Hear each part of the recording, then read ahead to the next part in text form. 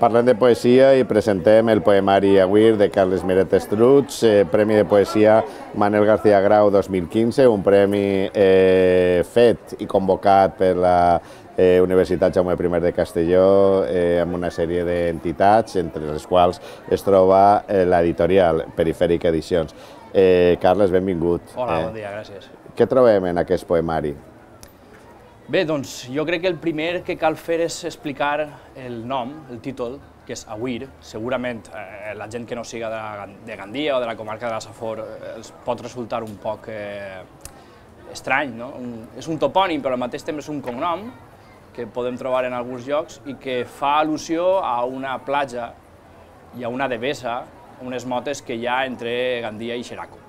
És un espai natural que d'alguna manera jo he volgut eh, poetitzar o portar-lo a la literatura perquè en l'última legislatura de, de l'Ajuntament de Gandia, governada pel PP i per un alcalde també bastant eh, protagonista i al mateix temps eh, molt popular, que era Arturo Torró, va llançar un projecte d'urbanització d'una zona que pràcticament era l'única no urbanitzada de les platges de, de la Safor i de la molt, molt, molt explotada costa, costa litoral valenciana, sobretot el Golf de València.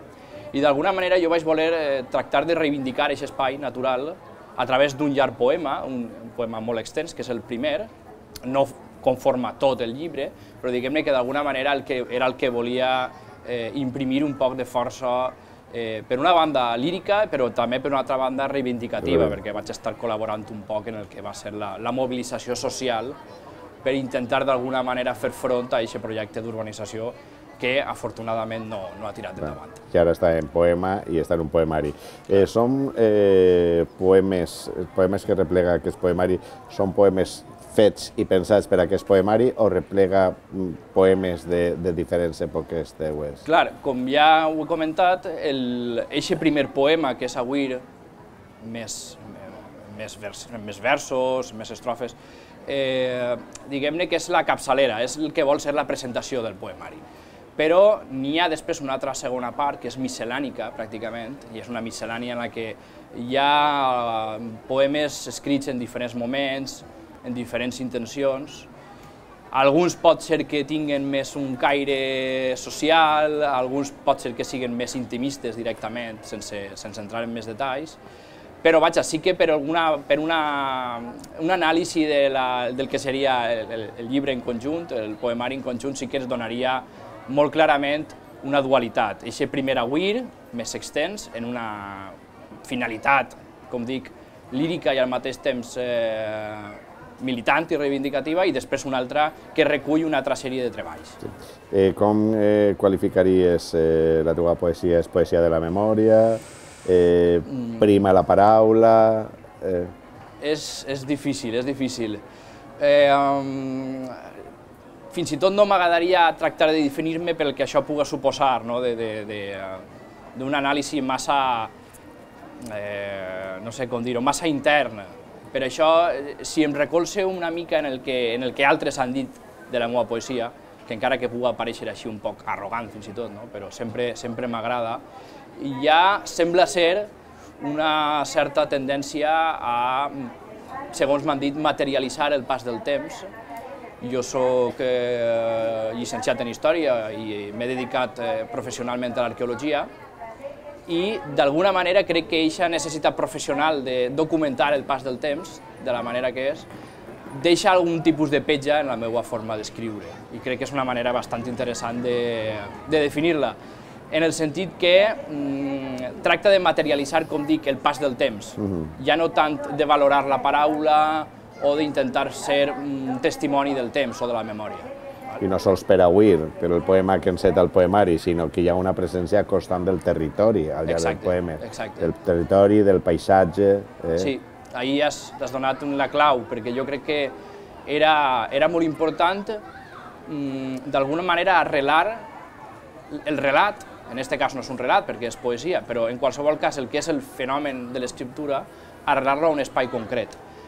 Sé que això pot tindre després algun tipus de limitació, limitació en el sentit que, clar, estàs mm, referint-te a un espai mm, molt limitat, com ja dic, és un espai litoral, però volia donar-li també aquesta dimensió, és a dir, a partir de l'espai concret, que es pot eh, d'alguna manera topografiar o que pots trobar-te en un mapa cartogràfic, volia eh, portar-lo més enllà, és a dir, a través justament de la paraula i a través de la poesia.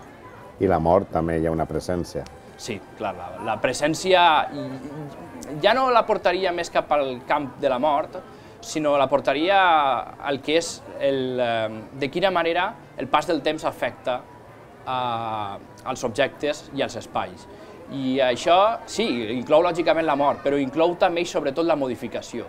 És a dir, què transformem del nostre entorn que queda en el temps, quines, eh, quins testimonis deixem del nostre pas i quines conseqüències té això sobre la conservació del nostre territori i el que és el nostre territori també en el fons és la nostra memòria, és a dir, què estem fent. Per això d'alguna manera la intervenció antròpica, és a dir, la, la, la, la, la ficada dels interessos econòmics sobre el que són espais naturals, com la platja de Gandia, com la de Bessa, fins i tot eh, eixe, eixe espai que s'estén des de la platja, passant per les motes, després la de Bessa, la Marjal, i després ja finalment el massís del Mondúber, com d'alguna manera mm, modificar això d'una manera mm, no consensuada, o d'una manera no productiva com és l'urbanisme, d'alguna manera deixa un impacte molt gran, com és també el pas del temps i que d'alguna manera es manifesta en els objectes i en els espais, com dic. Quins referents eh,